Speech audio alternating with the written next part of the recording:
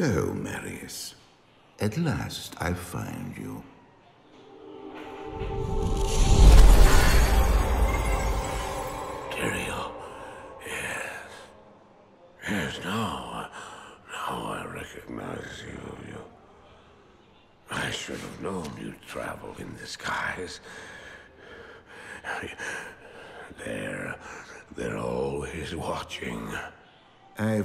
Searching for you for a long time, Marius.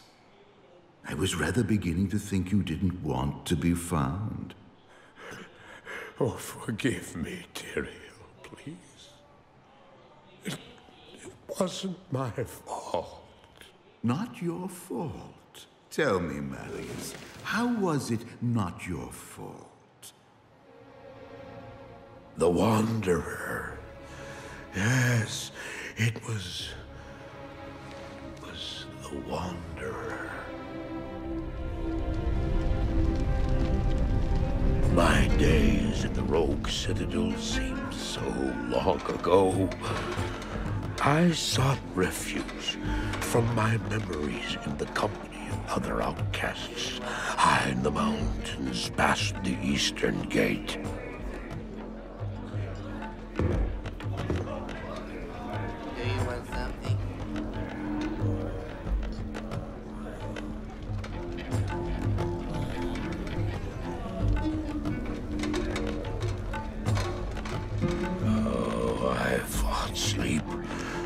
Days at a time.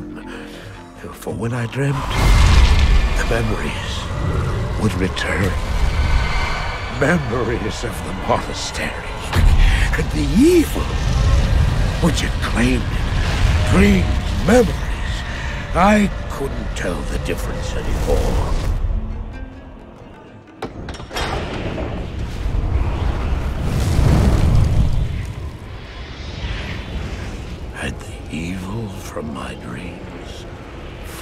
Me at my heels? How had he found me here? How could this broken shell of a man, barely able to carry the weight of his own sword, be the burning terror which drove me to hide here? He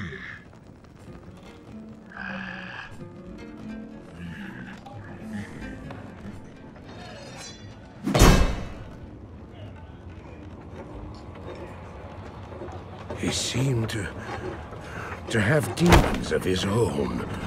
He struggled to contain.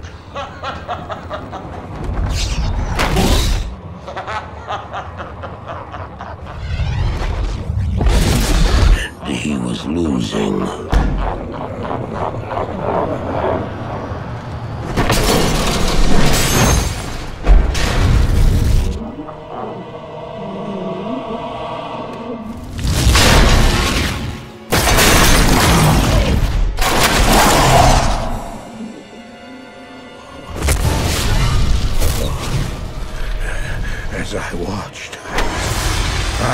Convinced that I was truly mad. The terror, the destruction, the, the evil I witnessed. How else could I explain them? Were these the demons from my dream, or were they born within the Wanderer?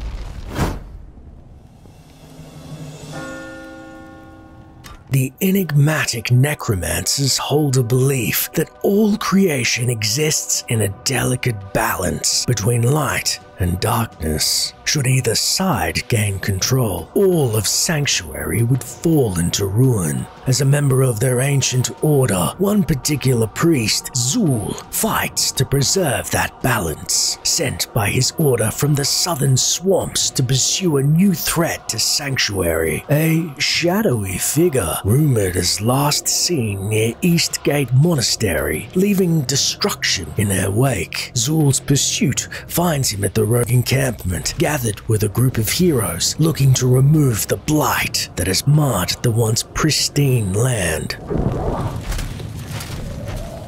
We first gather our bearings by the bonfire in the center of the disheveled camp's flimsy protective wrappings, in which we sense death and anguish thick in the air. Loitering by the fire, is our contact, garbed in blue trappings familiar to the desert dwellers of the East. Oh, greetings, stranger. I'm not surprised to see your kind here. Many adventurers have traveled this way since the recent troubles began. No doubt you've heard about the tragedy that befell the town of Tristram. Some say that Diablo, the Lord of Terror, walks the world again. I don't know if I believe that, but a dark wanderer did travel this route a few weeks ago. He was headed east to the mountain pass guarded by the rogue monastery. Maybe it's nothing, but evil seems to have trailed in his wake. You see, shortly after the wanderer went through, the monastery's gates to the pass were closed, and strange creatures began ravaging the countryside. Until it's safer outside the camp and the gates are reopened, I'll remain here with my caravan. I hope to leave for Lut Gholein before the shadow that fell over Tristram consumes us all. If you're still alive, then I'll take you along. You should talk to Akara, too. She seems to be the leader of this camp. Maybe she can tell you more. Heeding the traveler's prompt, we find ourselves headed to the southeastern corner of the camp. There, a purple dressed pythoness paces in front of her tent's potions and wares. I am Akara, High Priestess of the Sisterhood of the Sightless Eye. I welcome you, traveler, to our camp, but I'm afraid I can offer you but poor shelter within these rickety walls. You see, our ancient sisterhood has fallen under a strange curse. The mighty citadel, from which we have guarded the gates to the east for generations, has been corrupted by the evil demoness Andariel. I still can't believe it. But she turned many of our sister rogues against us and drove us from our ancestral home. Now the last defenders of the sisterhood are either dead or scattered throughout the wilderness. I implore you, stranger, please help us. Find a way to lift this terrible curse, and we will pledge our loyalty to you for all time. There is a place of great evil in the wilderness. Kashya's rogue scouts have informed me that a cave nearby is filled with shadowy creatures and horrors from beyond the grave. I fear that these creatures are massing for an attack against our encampment. If you are sincere about helping us, find the Dark Labyrinth and destroy the foul beasts. May the Great Eye watch over you. Ah. So the Maiden of Anguish herself has taken hold of the gates to the east, leveraging a nearby cave as a staging point and poised to strike from the shadows. From the looks of the remaining rogues, this will be their last stand. Determined to deter the demons, we seek the battle hardened Kashya, arms crossed against an impressive breast of full mail and scowl etched on her weary countenance. Welcome, Outlander, to our glorious hovel. I know you're here to challenge the evil that's driven us from our ancestral home. But know this Akara may be our spiritual leader, but I command the rogues in battle. It will take more than just killing a few beasts in the wilderness to earn my trust. The demons in that cave have claimed many of my finest archers. I wonder how you will fare. Well, now, fine fallen archers could be of some use if we are to fare any better. To the camp's northeast is a blacksmith's workshop. A muscle bound woman hammers the iron with skill and precision. Hi there, I'm Charsi, the blacksmith here in camp. It's good to see some strong adventurers around here. Many of our sisters fought bravely against Diablo when he first attacked the town of Tristram. They came back to us true veterans, bearing some really powerful items. Seems like their victory was short lived, though. Most of them are now corrupted by Andariel. The beasts from the cave have begun to roam throughout the countryside. You'd better be careful out there. This den has spawned the evil? Interesting. Lastly, we come to a wagon on the northwestern wall. There lingers a grubby, well fed merchant type who looks quite dismayed at our arrival. A necromancer? I hoped I'd never have to lay my eyes on one of your kind again. The recent troubles in this area have brought out all kinds, I see. Nevertheless, your money's good. A spare weapon, some gold, a small gem is all I want in exchange for the equipment you'll need on whatever quest you might undertake. No, no, no, don't be shy. All of my items are guaranteed for life and come with a two day warranty. You're a brave soul. I'd sooner thrust my sacred scepter into the foulest carbuncular troll than set one boot into that cave. Fear not, Gheed. All two inches of the sacred scepter is safe. But from the looks of how he itches, maybe lay off the carbuncular trolls and invest in a salve for your skin. Forgoing the relative safety of the encampment and entering the blood moor for the first time, we whisper a warning to the demonic denizens therein. All who oppose me, beware. The dreary moor's inhabitants meander just north of the camp, afflicted by a malignant malaise, as if hesitant to attack at the behest of their malevolent matriarch. Mm, no use letting this flesh go to waste, as we fell a few fresh victims in our ever growing army of the undead.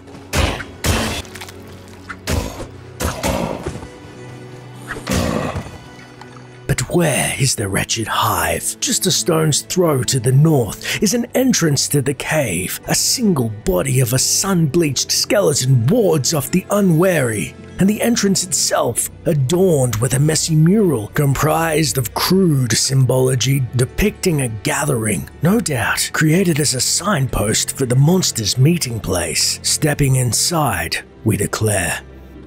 I sense death within this place. The den's dank walls dance with a reddish hue, as if hell was pushing its way in from the darkened stone. Delving deeper into the cave, a score of fallen amassing for their attack. The fallen are the first demonic creatures encountered, and appear as small demons carrying a spiked club, short scimitar like sword, or axe in one hand, and often a crude and metallic shield or torch in the other. They often scatter and run if one of their own is slain, but return to the fight again if stopped by any obstacle. Fallen Shaman, if in proximity, can casually resurrect slain fallen, making the encounter maddening and teaching a very acute lesson on target prioritization.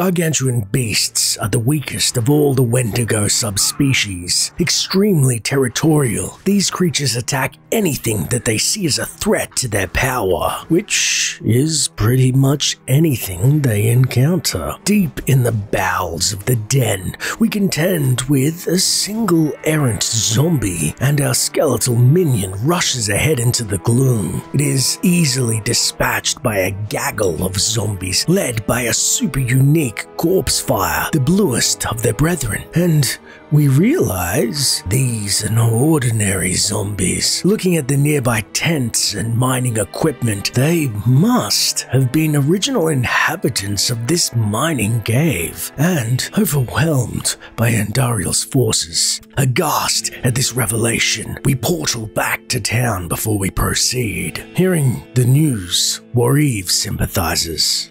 One who hesitates does so with good reason. Kashya simply prompts. You'd better come through on this. Your reputation depends on it. Charsi then checks. You haven't cleared the cave yet? Do you need anything? And of course, Gheed attempts a quick upsell. Demons still befouling that cave, huh?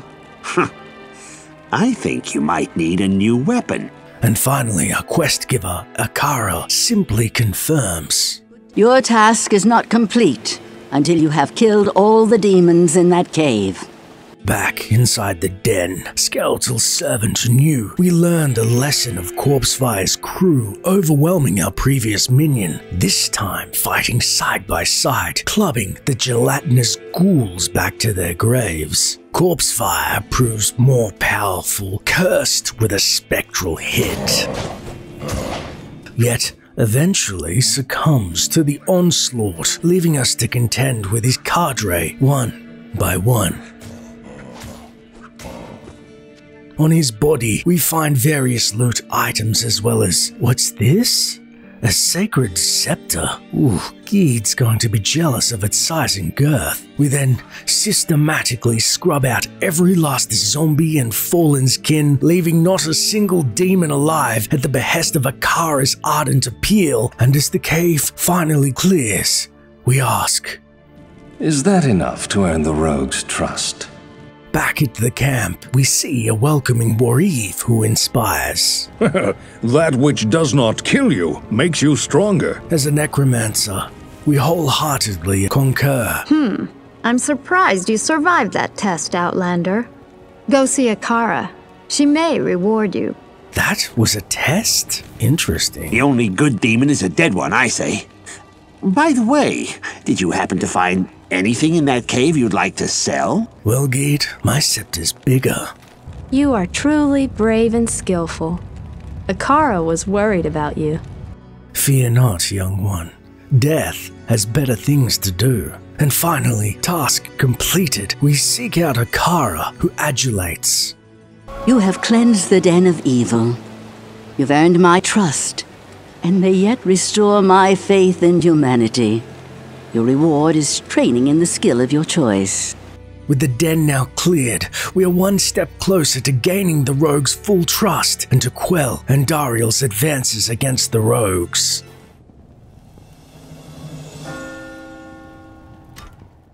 Death has done nothing to weaken Bloodraven's combat skills. If anything, she's more deadly than ever. Upon our return to the rogue encampment, with the demons dwelling in the den of evil utterly destroyed, the field captain Kashya reports. My rogue scouts have just reported an abomination in the monastery graveyard. Apparently, Andariel is not content to take only our living. Bloodraven, one of our finest captains in the battle against Diablo at Tristram, was also one of the first to be corrupted by Andariel. Now you'll find her in the monastery graveyard, raising our dead as zombies. We cannot abide this defilement. If you are truly our ally, you will help us destroy her. Andariel's newest pawn is raising the dead. We don't take too kindly to competition. Searching for insight into this former hero's past, the witch Akara then illuminates. Bloodraven fought valiantly against Diablo in the catacombs beneath Tristram. She was never quite the same afterwards. It is now obvious that she brought an evil influence back with her. Such is the corruptive power of a prime. Seeing our puzzled expression, Warriv, the caravan master, then poses. Hmm. How can one kill what is already dead? Clearly, Warriv has never seen the majesty of a freshly fallen corpse explode and fragment into their nearby kin. The muscle bound blacksmith Charsi then reiterates Bloodraven was the leader of a rogue band that once fought Diablo at Tristram.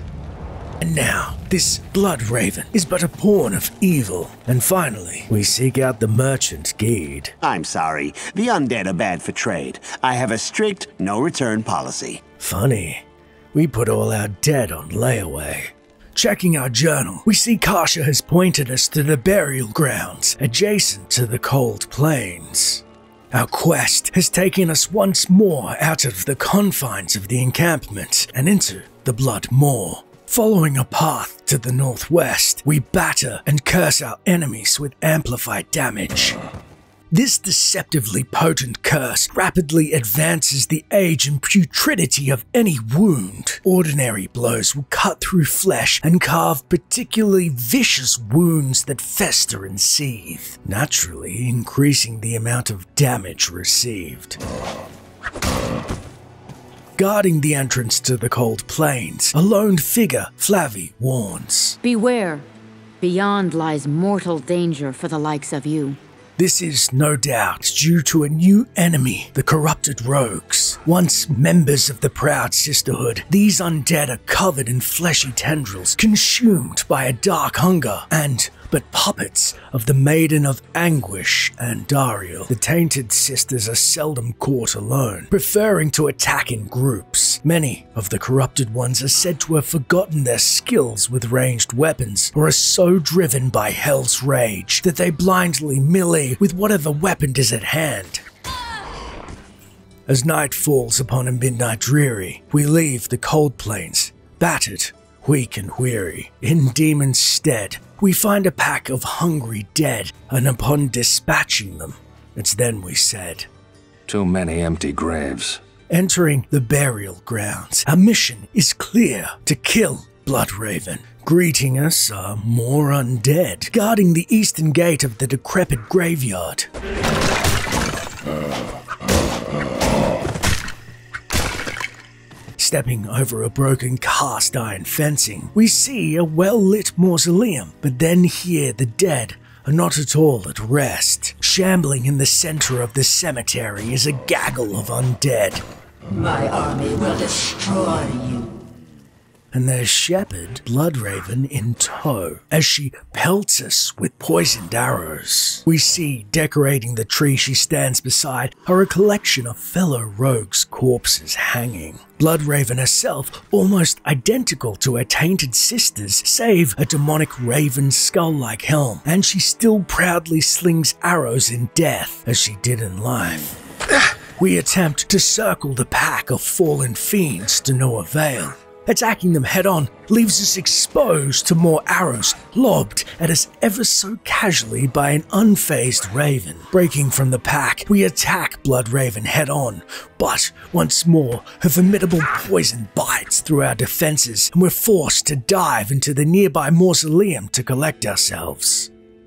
The Quiet Crypt, a sanctuary we're all too familiar with, gives us a moment to cast the town portal and replenish our supplies, as Akara warns.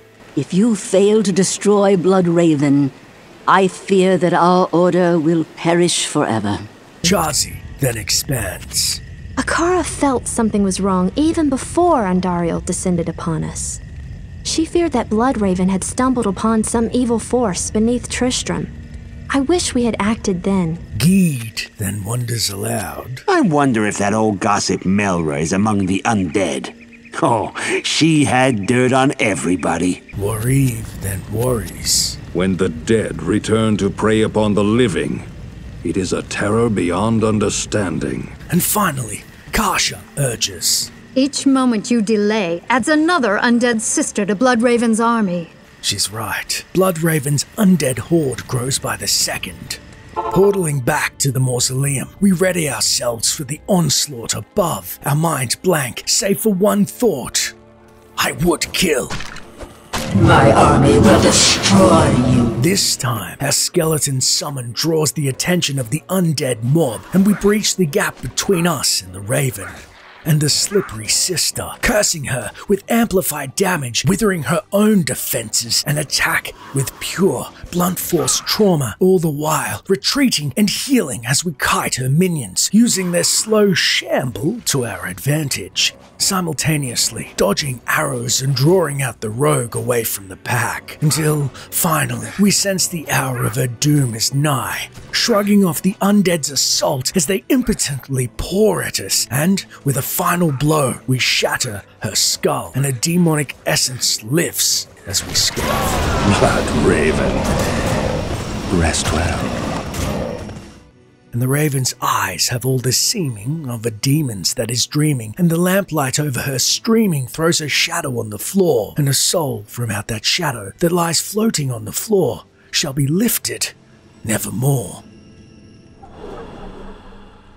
We approach Blood Raven's lifeless body. We find fallen a small hand axe, Plague Mangler, boasting superior amplified damage as well as formidable elemental damage to boot. It's then Thanks to our necromantic ability, we touch the deceased corpse of Blood Raven and peer into her past, seeing she was once known as Morena, a powerful warrior as the rogues foretold, and a crucial member of the triumvirate that miraculously felled Diablo neath the Cathedral of Tristram, a taint in which she carried with her a madness to which she succumbed. Something to look forward to in our future, no doubt. With that, the dark deed done, we arrive back at the encampment, and Akara says, Andariel must be made to pay for her sacrilege. Tensions will remain high until Andariel is dealt with. Kashya wishes to reward you for your defeat of Bloodraven. I thank you too, even though Bloodraven was once my friend. We mourn the loss of a rogue, yet no, the Morena they once counted as an ally is long gone. Some of those gals weren't so nice the first time around. Gheed, not being a hit with the ladies. Truly a shocking revelation. Next time, warn us so we can be seated. You've done well, stranger. I hope all your efforts are worth it. Me too, Warriv. Uh, me too. And finally, we seek out Kashya for our reward. I can hardly believe that you've defeated Bloodraven. Though she was once my closest friend, I pray that her tortured spirit remains banished forever. You have earned my respect, stranger, and the allegiance of the rogues. I have placed several of my best warriors at your disposal. Now, with one of Kashya's finest at our side, our quest has ended, but our hunt for Andariel, we fear, has just begun. Tristram is too far to journey by foot. Cain would likely be dead when you arrived. However, there is a magical portal that will take you there instantly. To open it, one must stand within the circle of cairnstones and touch them in a certain order. The proper order can be found in the runes written on the bark of the tree of Inifuss. You must find the sacred tree of Inifuss and bring back its bark. I will translate the runes to unlock the stone's mystic pattern. Returning to camp, with the blood of a certain raven still fresh on our beak, the witch Akara beckons to us once more to bark orders anew. It is clear that we are facing an evil difficult to comprehend, let alone combat. There is only one Horadric sage, schooled in the most arcane history and lore, who could advise us. His name is Deckard Cain. You must go to Tristram and find him, my friend. I pray that he still lives. The Horadric scholar Deckard Cain lives. We'd heard he'd gone quite mad. The battle hungry Captain Kashya then schemes. The bark of Inifuss holds mystical runes. Akara can translate them into our revenge. You could say I'm intrigued. Warriv, the Caravana, elucidates. Months ago, I came across a few survivors from Tristram. They said that Cain had gone half mad and could no longer distinguish fact from fantasy. A man that cannot distinguish fact from fantasy. Sounds like Gheed. Charsi, the blacksmith, then explains. If you bring back the bark of Inifuss, Akara will tell you how to get to Tristram. And before we search for this underground passage to the dark woods, we stop briefly at Gheed the portly merchant's camp, to which he confesses. I would sooner micturate in a tankard of my own ale than journey to Tristram. Totally unnecessary, Gheed, my friend. I already did it for you. With our quest clear, led by Kashya's scout Habaya, we make haste to the cold plains to search for the stony field in which we're told the underground passage lies. There, we're met by a force of dark hunters and a batch of gargantuan beasts, led by the extra strong Wind Shank the Sharp. Thank you.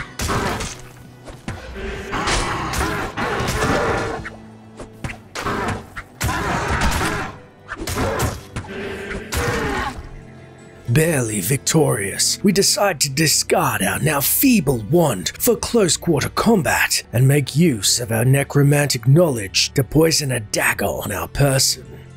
The apothecary skills of the necromancer lay fundamentally in the studies of venoms, toxins, and other poisonous substances. Not only can a skilled necromancer identify the various strains of poison that he might come across, but he also maintains a ready supply of samples. Rarely does he shy from their use. In a common application of this skill, the necromancer paints his dagger with a thin coat of virulent poison. The greater his ability, the more potent the poison.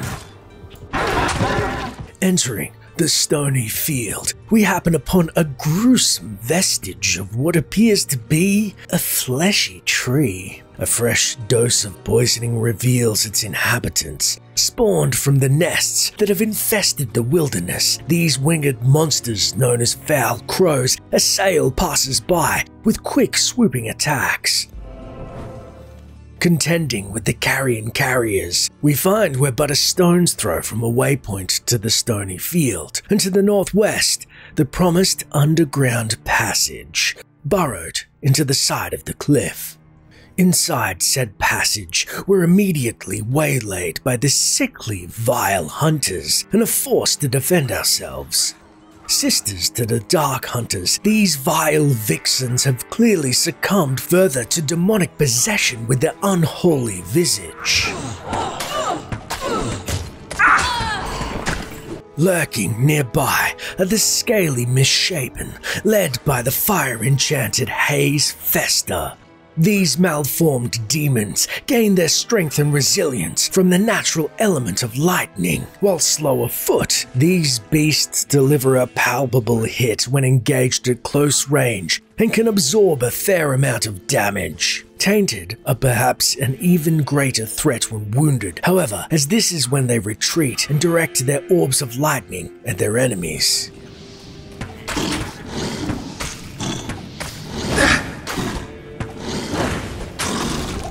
While contending with a fresh batch of vile hunters, our attention momentarily forfeit as our guide, Abhaya, pays for our lapse of concentration and is killed by a quartet of skeleton archers. A costly mistake. We know skeletons do not consume the flesh of the living as many of their other undead kindred, but seek only to slay those who live to increase their ranks. Single minded in their mission to slay the living, some of these animated warriors use the bows that served them in life to deadly effect. Archers let their brethren rush forward while they hang back and fire into the melee.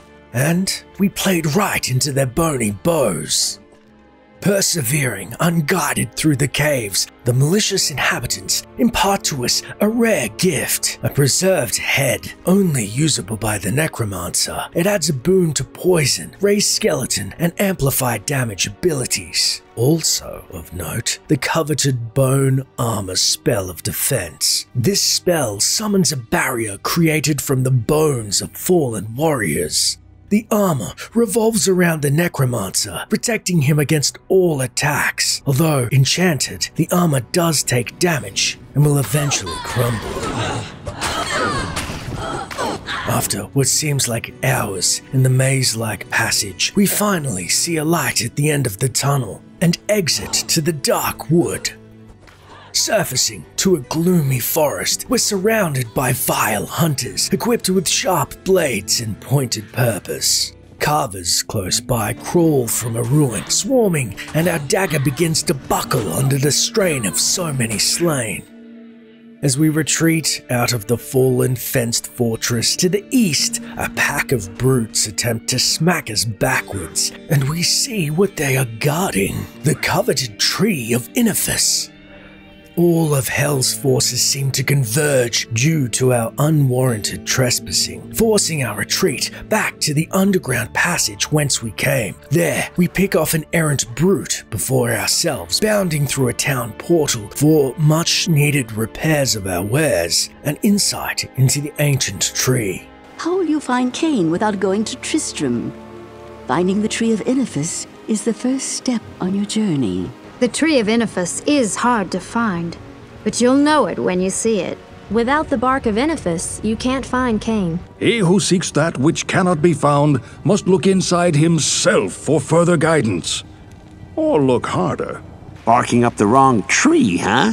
You'll find it. Just keep looking.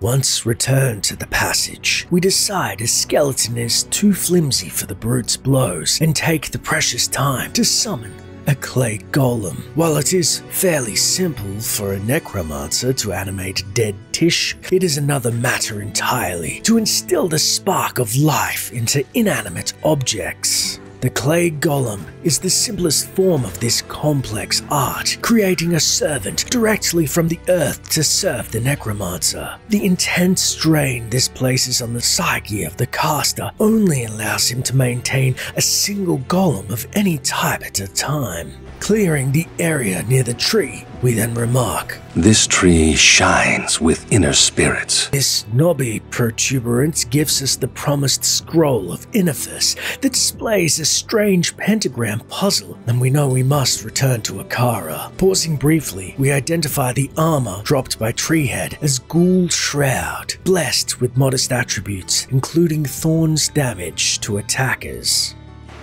Once back in the rogue encampment, the residents urge us to take the scroll to Akara for further examination. With this scroll, you may open a portal back to Tristram. Only Akara can decipher its logic. What can I do for you? Get this to Akara. Only she can understand it. Look, friend, I trade a lot of strange items, but I'm not gonna start dealing in bark, okay? This looks like gibberish to me. Akara may know what to make of it. Ah, very good. I have translated the runes on this scroll. You must find the cairnstones and touch them in the order that I have written.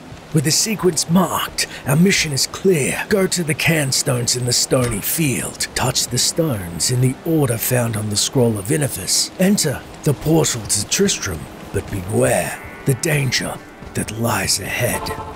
Back in the stony field, we find the fallen guarding the cairnstones, led by their own lightning enchanted demigod, Rakanishu, whose flesh, surprisingly, submits to our poison pitifully. His corpse gives a large yellow axe, glyph hue. Impressive attributes, if not for our newly found fondness of daggers. Approaching the cairnstones, we glance at Akara's instructions of the order in which to activate the pillars.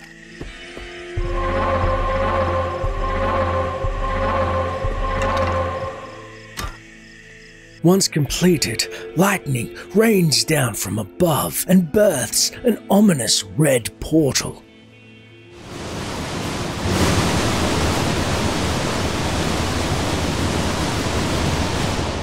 In which we have only one choice if we're to save Cain, and as such, hesitantly step inside. All that's left of proud Tristram are ghosts and ashes. encountering a rogue's corpse next to the portal, her body ripped asunder in what can only be described as unbound rage. Not even the cows were safe. The town is now overrun by demons, and we attempt to scout the outskirts of the dilapidated ruins, untethering the bound body of a dead rogue left to sear in the heat of hellfire. To the north, there are wagons blocking the exit of the town that leads to the infamous cathedral. West, along the river bank, the fallen swarm around a single body of a boy killed not long ago.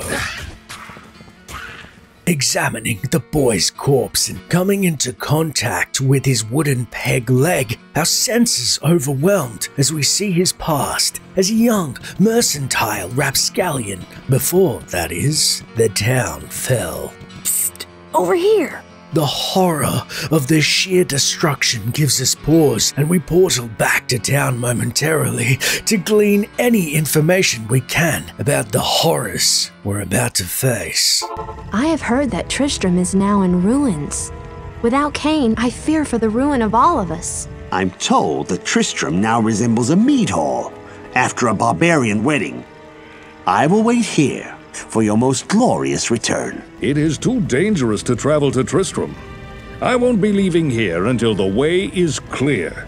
Deckard Cain has crucial knowledge about the evils we face. You must find him. If he still lives, Deckard Cain may be in grave peril. You must hurry to Tristram before all is lost. Not liking Cain's odds, we dutifully return to Tristram for a final time. South of the river, we're again accosted by the fallen fiends, but an unfamiliar figure joins the fray. The stout blacksmith Griswold was once one of those who were bound past death to attend the desires of the three. Wandering the town he once loved, he uses arcane powers and unholy strength granted to his twisted body by Andariel to stop any from following the path of the Wanderer, sinking our poisoned dagger into his undead heart.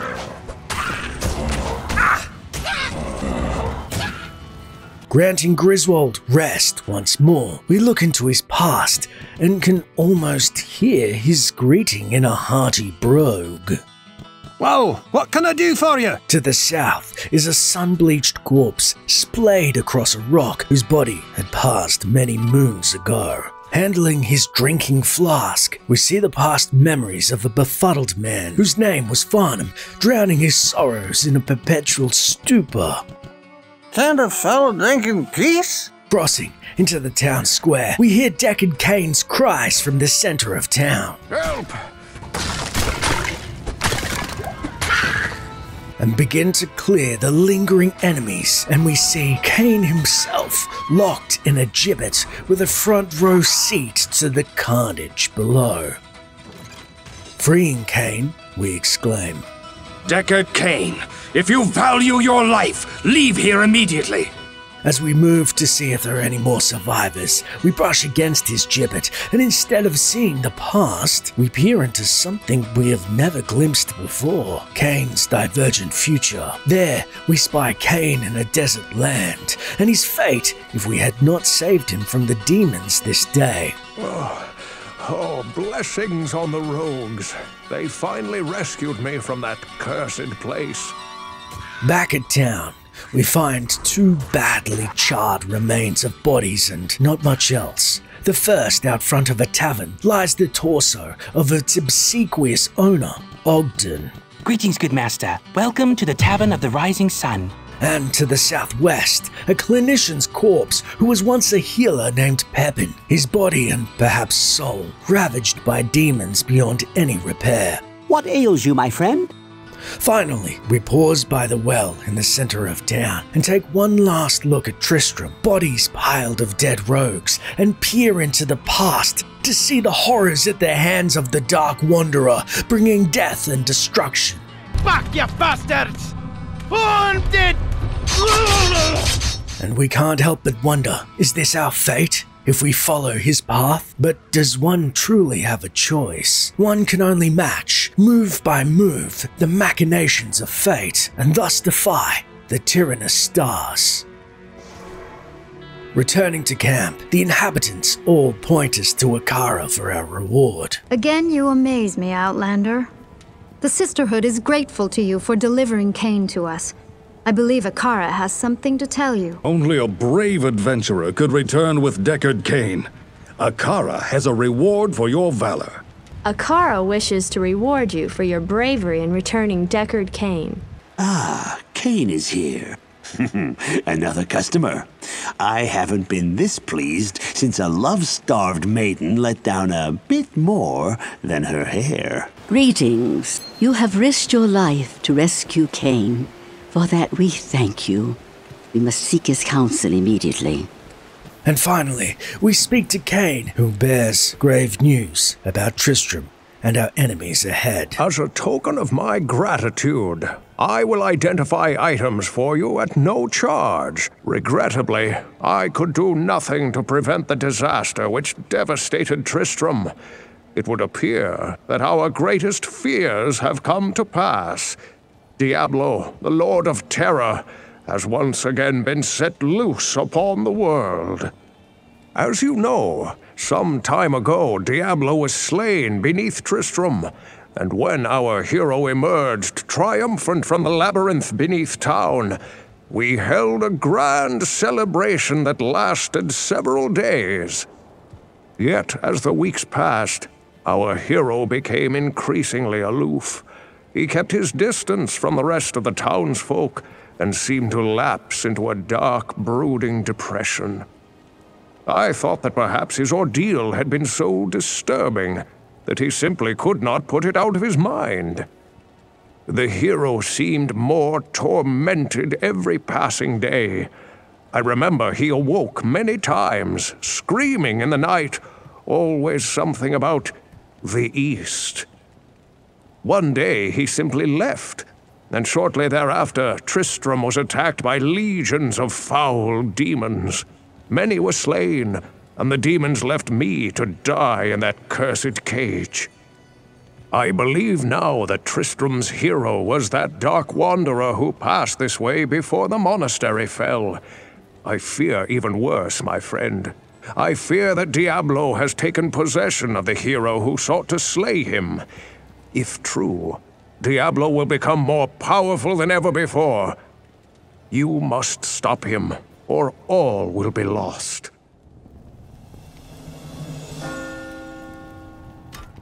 While exploring the stony field, we happen upon a curiosity. A moldy tome lies in the center of the ruins of a long forgotten tower. We cannot help but pause to peruse its putrid pages. And so it came to pass that the Countess, who once bathed in the rejuvenating blood of a hundred virgins, was buried alive.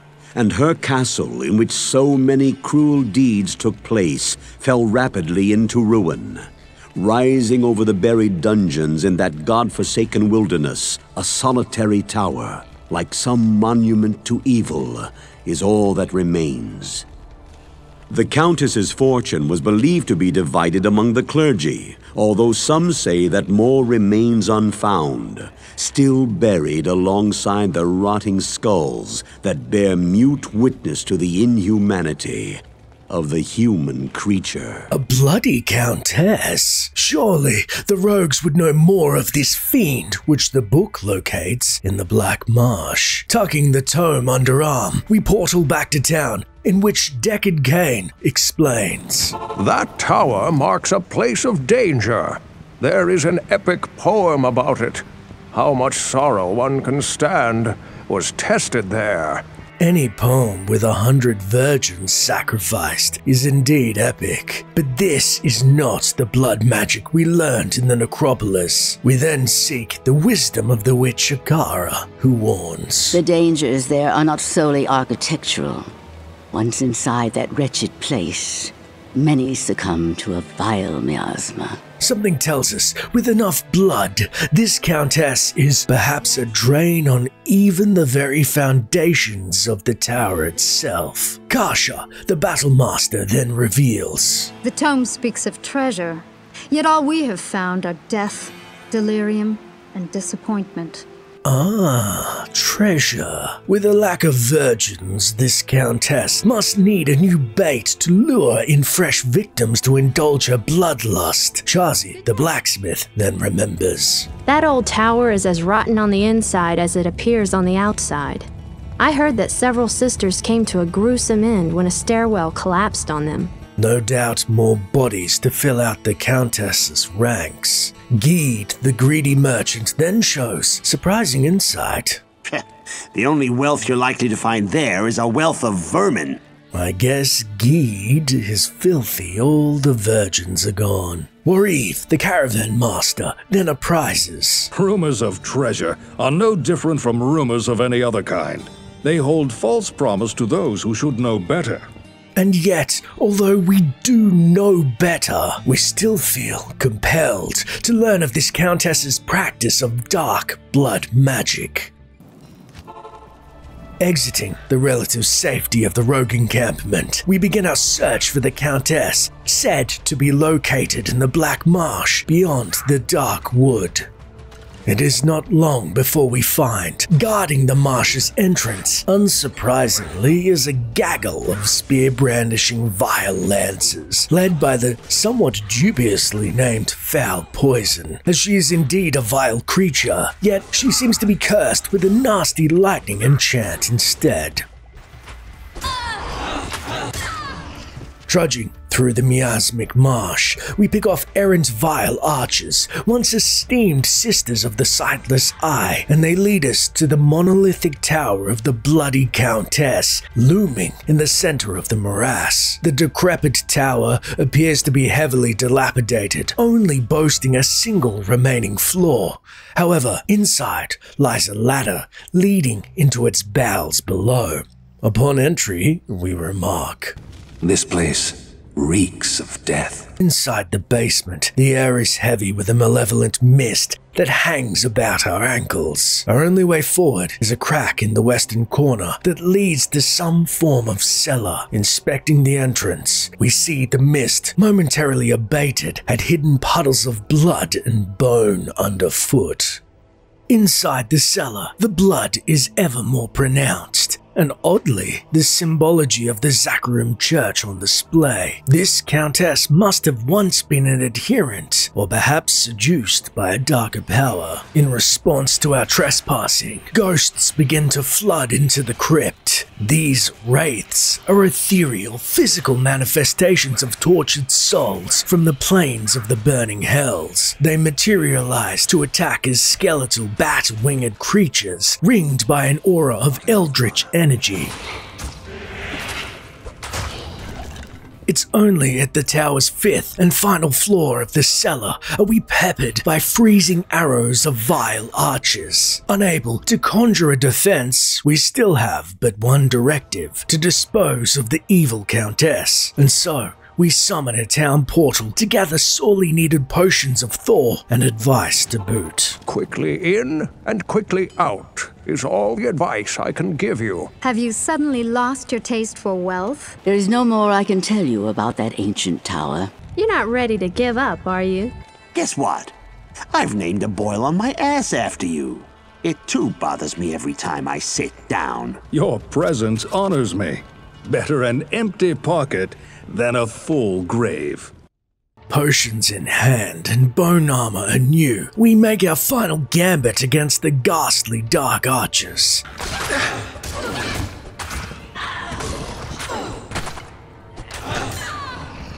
Retreating into an eastern room, we find promised treasure is strewn haphazardly about, as if the occupants care little for the bounty. However, the Blood Clan goatmen come to defend the loot all the same, slaughtering the misshapen Khazra in a great hall lined with torches that leads to a literal bloodbath swirling with precious crimson liquid of the poor virgins, showing that the Countess has hopped out of the tub and is no doubt nearby. Searching the eastern arm of the altar, a dark stalker meets us in the doorway that bursts into hellfire. A chilling voice promises Your blood will boil. With the minions all but destroyed, we step through the blaze and face the fire enchanted Countess in all her bloody glory. Only when their attention is drawn do we sink our dagger into her black heart from behind. As the Countess' spirit abates, treasure bursts across the room. and we find the Tal and Ral runes, as well as a unique poison resistant quilted armor. Pausing momentarily, we see the pentagram etched with blood neath our feet on the floor. Touching it reveals the Bloody Countess's spirit has not fully been destroyed this day. Beauty fades. It is impossible to escape. I will not submit to this truth. I am beyond the pitiful laws of tiny men. Their blood will serve me. Fulfill my purpose. My splendor. Reborn from their pain. And my beauty will never fade again. With bounty in hand, we head back to town and are greeted by its inhabitants at the news that the tower is finally cleared. Well done, my friend. Courage and opportunity together have created in you a kind of alchemy. Your rewards are well earned. To us, the tower was nothing more than a headstone looming over a long forgotten grave. I thought the stories of treasure in the tower were nothing but lies. I am glad you found something of value in that death trap. Would that our sisters had been so fortunate. Those riches will serve you well on the long road ahead. Warriv's advice is like corpse gas. It befouls the air for a moment, and then it disappears. Remember, wealth is as insubstantial as a cloud and passes as quickly. Ignore Gheed. All that twitters is not bold. All that twitters is not bold. Truer words have never been spoke. The monastery can confuse even those who know it well. Stay alert in there. Upon returning to the rogue encampment, post disposing of the bloody countess, Charsi, the blacksmith, approaches us with a request. When I fled the monastery, I left behind the Horadric Malus, my enchanted smithing hammer. If you can retrieve it for me, I'll use its magic to strengthen your equipment. This Malus would be a great boon to our war waged against the burning hells. However, as the monastery is overrun, it's no wonder the Malus lays unclaimed. Remarkably, even the greasy merchant Gheed is crumbling under Charsi's incessant requests. Charsy talks of nothing anymore but this Horadric Malus. Between you and her, my ears need a rest. Just find it and bring it back quickly. Poor Gheed. The Malus, no doubt bearing a storied history. It's then we seek the wisdom of the last known Horadric scholar, Deckard Cain. The Malus was forged and enchanted by the ancient Horadric mages during the Sin Wars. When their union dissolved, the Malus was entrusted to the Sisterhood, guarding the pass into the east. And now, thanks to Andariel, the monastery lies in ruins. The caravan of Warriv then instructs. Just as an archer needs bow and arrow, or a draftsman pen and paper, so Charsi needs the Horadric Malus with which to ply her trade. Indeed, Charsi's situation is less than ideal, a sentiment shared by Kashya, the battle captain, who regales. Charsi is wasting her time and talents using an inferior hammer. Had she the Horadric Malus, she could make the steel sing and craft you a suit of armor as impenetrable as the Great Eye. The Great Eye she speaks of seems to have looked into the abyss and unfortunately blinked. Akara, the witch, then further warns. The retrieval of the Horadric Malus is not without risk. Our monastery is filled with voracious hellspawn. You'd best be careful, my friend. More cause for concern is we've been instructed to search for the Malus in the monastery barracks, yet no one has mentioned the rumored demonic smith in possession of the enchanted hammer. Entering the Tamoe Highlands, we are waylaid by a new enemy, the returned mage. These animated skeletal remains of slain sorcerers wield the forces of elemental magic as they sow death throughout the land.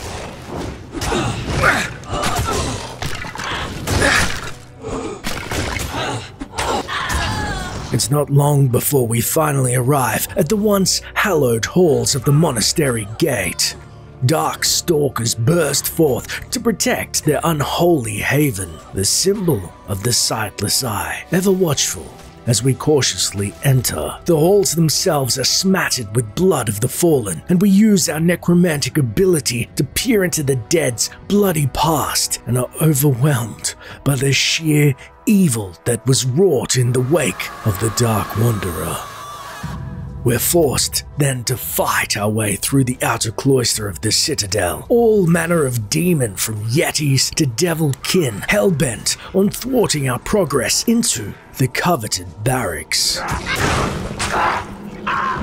Behind large wooden doors lies the barracks interior. Death Clan Khazra march out of the gloom, spiked clubs and halberds in grubby paws. Their brethren amass in the dark reaches of the barracks wine cellar, barely visible save the torches of the devil kin. Like angry townsfolk looking to make an example of an errant trespasser.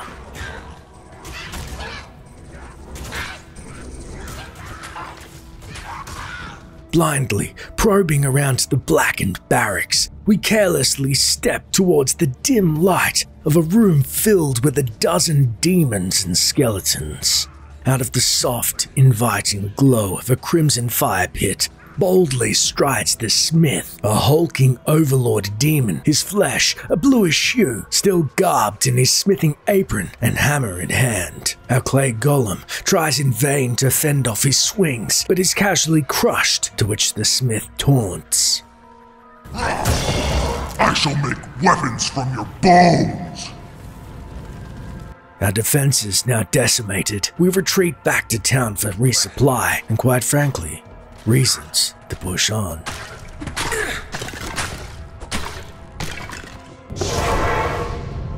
It's there, Cain explains. Hmm, the Malus has eluded you so far. Well, search thoroughly in the barracks. That is where the rogues kept their forge. Kashya then reminds. To do battle with Andariel requires more than thick skin and a strong will. You'll want armor and weaponry forged with the hammer's enchantments. She's right. Armor and weaponry is needed. Taking Kashya's advice, we reluctantly hire a second scout, Amplissa, with a cold enchanted bow to slow the beast, as we'll need as many distractions for this smith as possible. Akara then questions. If you can't carry out this quest, how will you face the greater evils ahead? Charsi pleads. Malus is a Horadric artifact of great power. Please bring it back. Gheed jests. Yes? I've heard that you bear us no malice. and Warriv, well, wordplay is the word of the day. Well, what better opportunity to show your metal? Our supplies renewed, as is our metal, we step back into the barracks, with our new companion luring out the smith's enemies as he desperately guards his forge, the prized Malus on a nearby stand. Amplissa's cold arrows peppered the smith's already blue hide until he finally succumbs to our assault.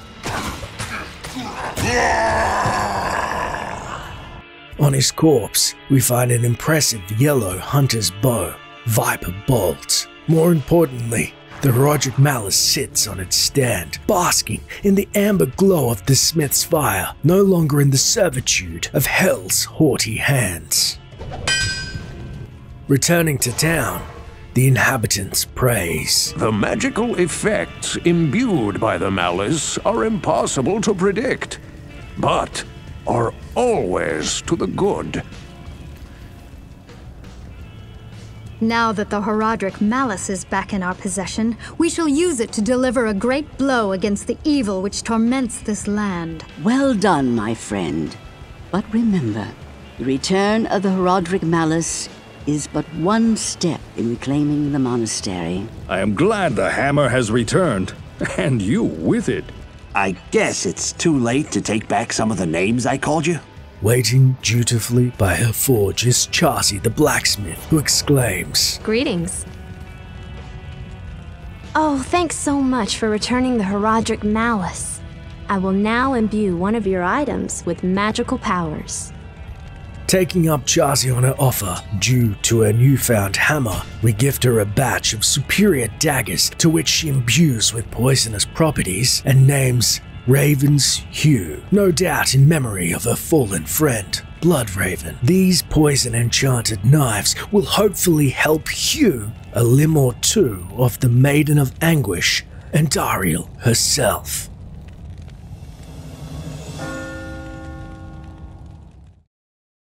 Diablo is heading east for some foul purpose, and the only passage east is through the monastery gate. Obviously, Diablo summoned Andariel to block any pursuit. For her part, Andariel hopes to win Diablo's favor. The lesser demons are always vying for positions of power within the unholy hierarchy. Post disposing of the demonic smith in the monastery barracks, All this for a hammer? We're stopped by Deckard Cain, Hello. who reveals the confrontation with the lesser evil Andariel is all but upon us. It is certain that we face the demon queen, Andariel, who has corrupted the rogue sisterhood and defiled their ancestral monastery. This does not bode well for us, my friend. Ancient Horadric texts record that Andariel and the other lesser evils once overthrew the three prime evils Diablo, Mephisto, and Baal, banishing them from hell to our world. Here they caused mankind untold anguish and suffering before they were finally bound within the Soul Stones.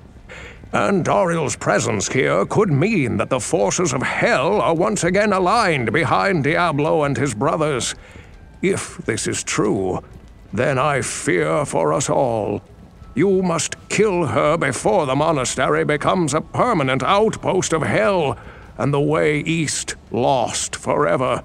An outpost of hell, and yet her anguish has not dampened the spirits of all of the camp's inhabitants as the Captain Kashya fumes. I can imagine a thousand different ways to kill Andariel. You need only choose one. We're going to need all the fury of the rogues to defeat the unholy maiden. Akara the Witch is of similar mind. Andariel has desecrated all we hold dear. She must not be permitted to serve Diablo. Destroy her. The corruption of our order must be undone. The perverse corruption pervades all. Charsi, the blacksmith, commands of us. Send Andariel back to the hell she came from. The sisters are relishing the idea of slaughter. However, the male inhabitants of this camp seem less bloodthirsty, as Gheed, the self interested merchant, whimpers. You're going after Andariel? Uh, one of my wagon wheels is in need of repair. Uh, I'll be under the wagon if I'm needed. We call to Gheed under his wagon. That's wheel looks fine, but he remains steadfast in his appraisal. The map makers tell us the shortest distance between two points is a straight line. Our way east is a line that runs through Andariel's stronghold, the monastery. And so our quest begins to hunt down Andariel, whose lair is said to be in the very depths of the monastery itself. Inside the smith's barracks, we search for a way into the inner cloister of the monastery. Our best bet is through the jail. Its bars ripped open by a gargantuan, unseen force. Upon entry, we remark. Ah, the slow torture of caged starvation. Blood smatters the walls and floor, and yet, curiously, there are no bodies to accompany said gore. Dark magics permeate the already macabre jail's interior. Stumbling upon a waypoint, its blue flame illuminates its glyph, etched in human blood, and piles of gore littered about. However, Perhaps most unsettling is the deafening silence.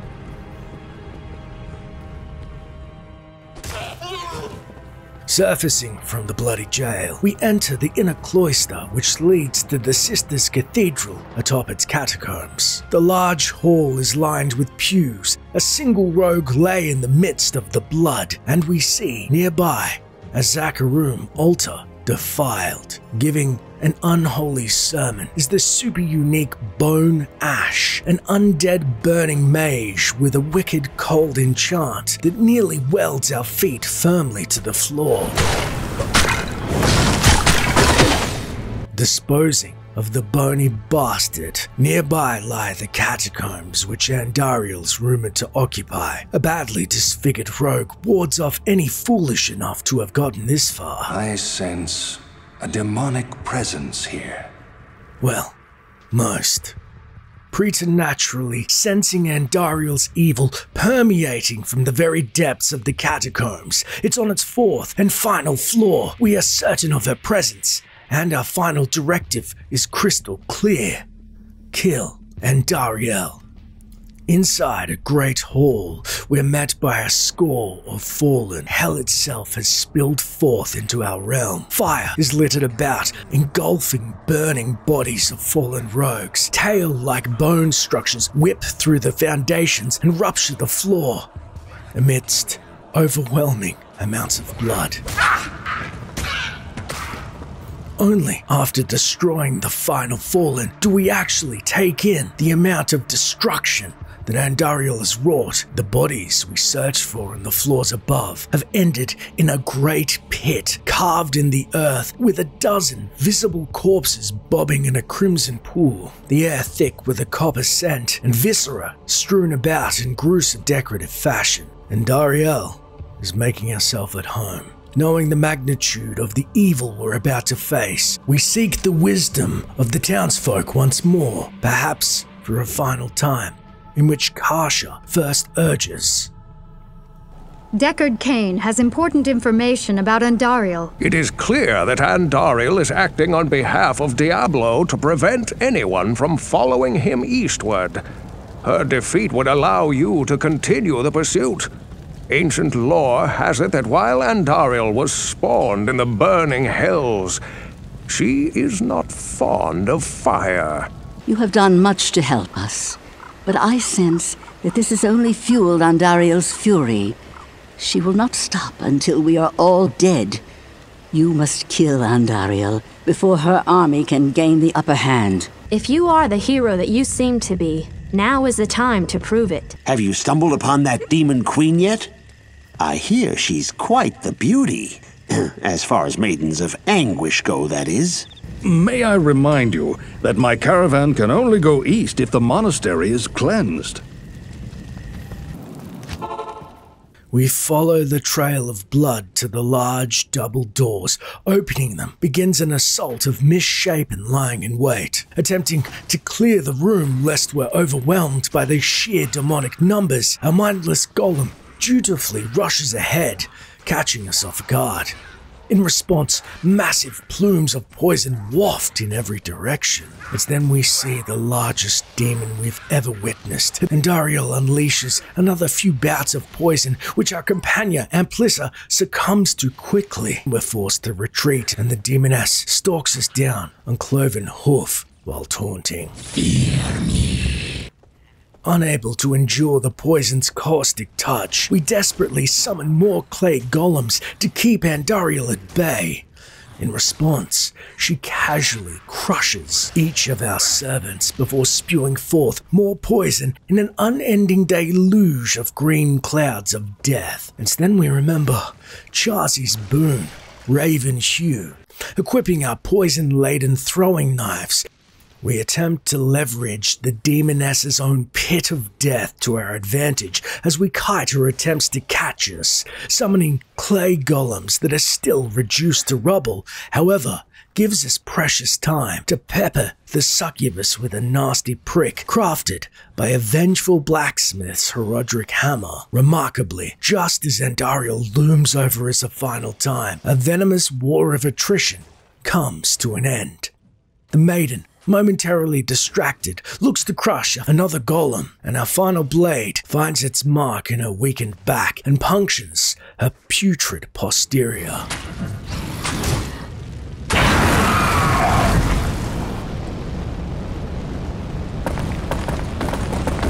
Back to the hell that spawned you, Andariel.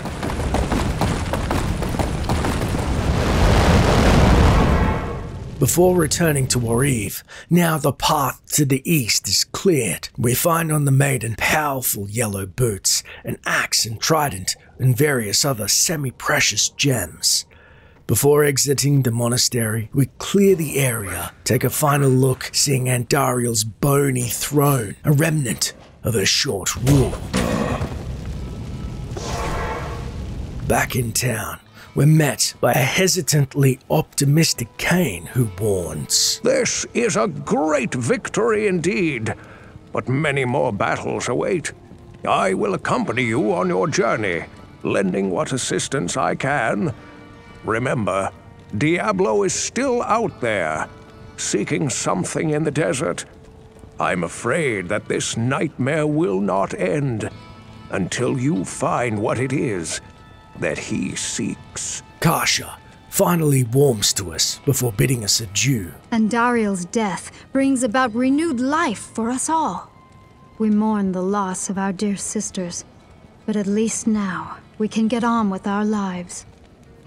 I may have misjudged you, Outlander.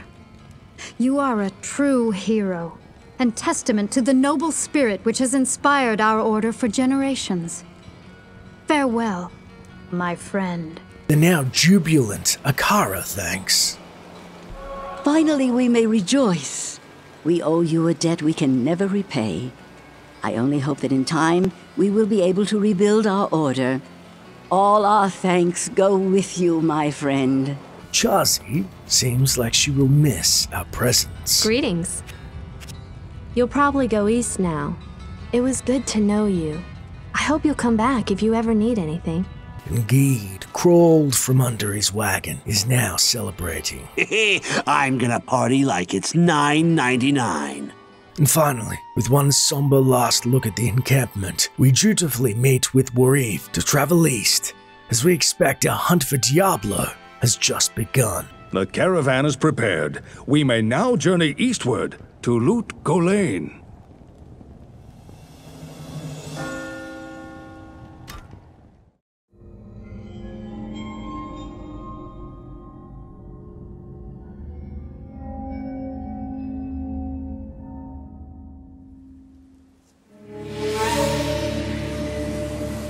Traveled east, over the mountains and into the vast deserts of broken lands.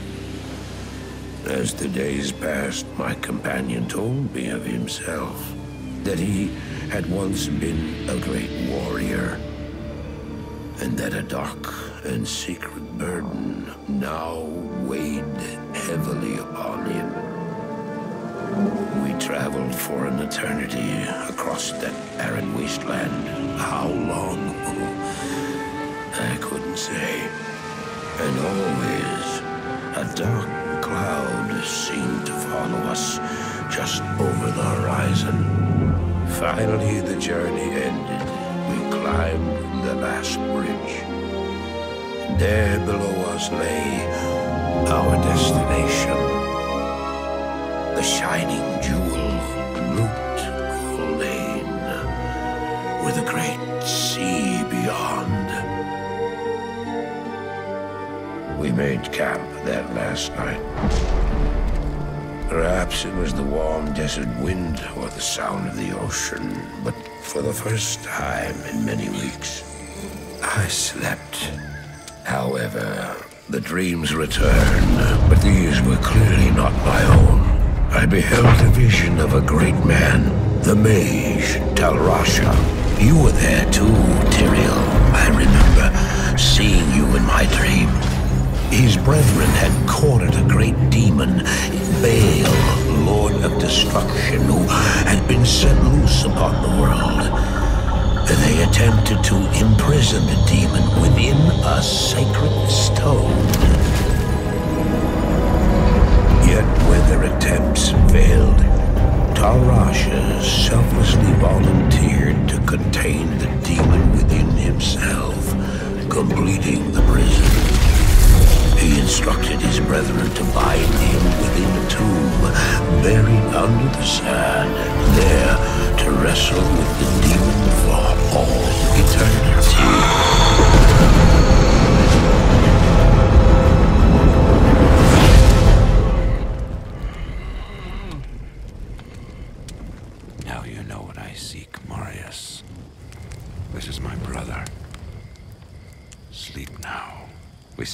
With the dawn.